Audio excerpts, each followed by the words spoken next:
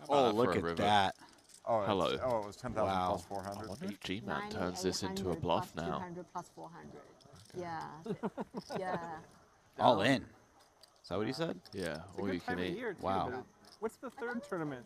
Tricky, tricky, Han, check turn, all in river. What do we beat? King nine. Read it. Read it. King nine is certainly one. Is Seems like that turn card wasn't very good for me. None of us